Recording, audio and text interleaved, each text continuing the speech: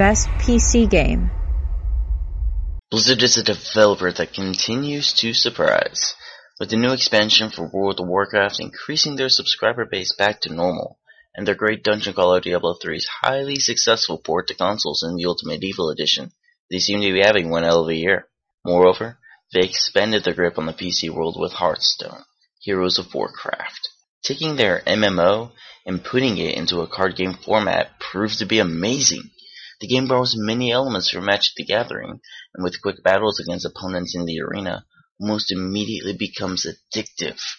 Hearthstone is fair in its free-to-play aspects, and its card packs are diverse, allowing players to customize their decks however they want. It's no small wonder why this is the most streamed game on Twitch. Blizzard has done it again.